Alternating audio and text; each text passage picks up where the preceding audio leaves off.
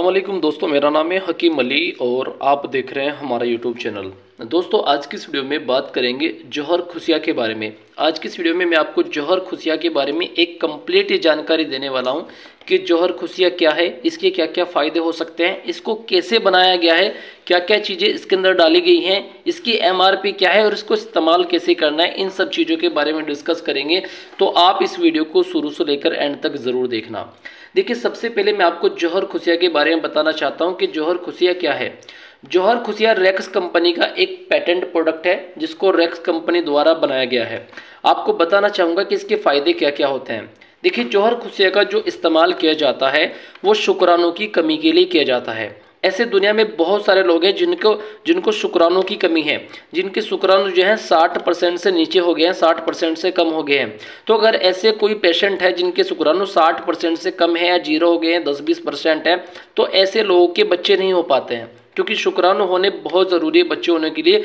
कम से कम साठ परसेंट होने चाहिए, तभी जाके बच्चे हो पाते हैं। तो अगर किसी मरीज़ को ऐसी परेशानी है कि इसके जो शुक्राणु हैं, वो या तो नील हो गए हैं, या कम हो गए हैं, या 10-20 परसेंट रह गए हैं तो ऐसे लोगों के लिए खास करके इस्तेमाल की जाती है।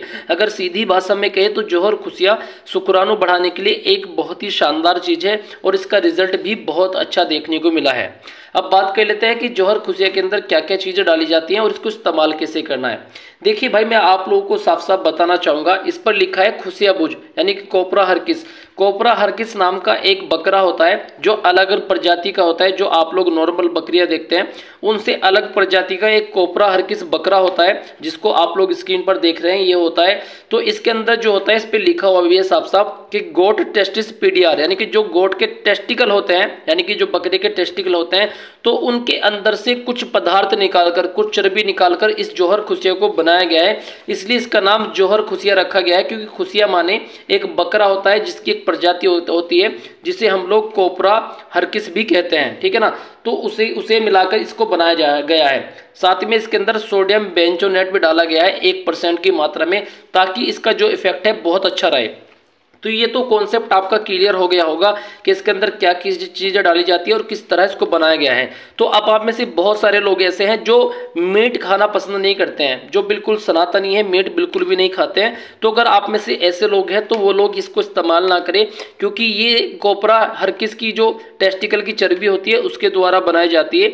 इसीलिए शुक्राणु बनाने के लिए बहुत ज़्यादा इफ़ेक्टिव मानी जाती है, ठीक है ना? जो लोग मीट वगैरह खाते हैं, जिनका जी मानता है, वो लोग इसको इस्तेमाल कर सकते हैं।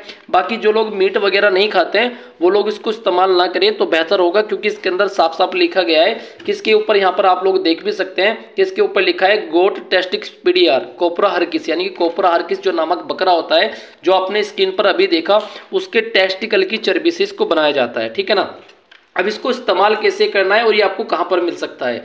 देखिए, जैसे कि मैंने बताया कि रेक्स रेमेडीज कंपनी का बनाया गया एक प्रोडक्ट है, जो कि 10 ग्राम के वैल्यूएशन में आपको मिल जाता है 10 ग्राम के पैक में आपको मिल जाता है, और जिसकी एमआरपी आप लोग यहाँ पर देख सकते हैं, इसकी जो एमआरपी है, एक सौ की, यानी कि एक सौ में आपको ये किसी भी रेक्स कंपनी की आयुर्वेदिक कंपनी की दवा खाने की दुकान पर आसानी से आपको मिल जाएगा। वहाँ पर जाकर आप लोग इसे ले सकते हैं। इसको इस्तेमाल करने का तरीका यह है कि यानी कि दस ग्राम का ये पैक है तो आप लोग इसे एक ग्राम सुबह और एक ग्राम शाम आप इसे इस्तेमाल कर सकते हैं दूध के साथ में। अदरवाइज़ इसका इस्तेमाल जो जब किया जाता है, जब बहुत सारी जड़ी बूटियाँ कूट करके नुस्खा बनाया जाता है, उसके अंदर इसको डाला जाता है तो वहाँ पर ये ज़्यादा बेहतर काम करता है, ज़्यादा अच्छा काम करता है, क्योंकि इसके साथ में पम, दाना, प्याज वगैरह और भी ज़्यादा मिलाई जाती हैं, और भी चीज़ें मिलाई जाती हैं। तो ये शुक्राणु बनाने के लिए बहुत ही अच्छी चीज़ होती है। तो आज की वीडियो में आपने जाना जोहर खुशिया के बारे में कंप्लीट जानकारी। अगर आपको वीडियो पसंद आई है तो वीडियो को लाइक कर देना और ऐसी और वीडियोस देखने के लिए हमारे चैनल को सब्सक्राइब कर लेना। आप लोगों को ऐसी वीडियोस इस चैनल पर मिलती रहेंगी। तो मिलता हूँ आपसे एक और ऐसी वीडियो में, तब तक के लिए अल्लाह हाफिज़।